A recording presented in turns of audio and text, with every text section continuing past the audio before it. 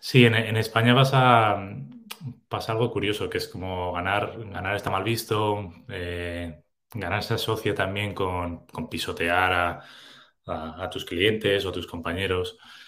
Y, y es al revés, ¿no? O sea, yo eh, sie- siempre que he trabajado con compañeros o con, o con gente de mi equipo que tienen ese, ese hambre de ganar, elevan al resto del equipo, ¿no? Eh, pues, de nuevo, por poner una metáfora de- del deporte, el equipo que juega con Michael Jordan están muy, muy, muy agradecidos de que han jugado con Michael Jordan, ¿no? Porque todos tienen los, los anillos en los dedos.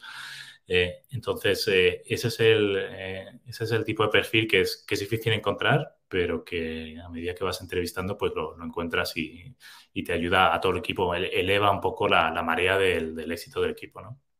Sí, yo creo aparte que a todos nos pasa, ¿no? Cuando tienes gente que, que, te hace challenge, ¿no? Como que dices, o sea, ven, ven un poco con fuerza, tú también te, te creces, te lo crees, eh, com, compites un poco, no en plan mal, ¿no? Volvemos a lo mismo, que claro. España dices competir y suena que vas a pisar. No, pero oye, tío, vamos a ver quién, quién lo hace mejor, pero vamos a intentar ganar los dos. Y eso, eso me pasaba un poco al, al principio cuando, eh, cuando fui manager por primera vez, que a veces contrataba gente que me hacían a mí sentir inseguro. Decía, joder, es que este tío sabe muchísimo más que yo o, y, y, me da mil vueltas. Y ahora eh, casi lo pongo como un requisito de mi contratación. Digo, tengo que, contratar a, a, tengo que contratar a alguien que me haga sentir inseguro porque sabe cosas mucho mejor que yo.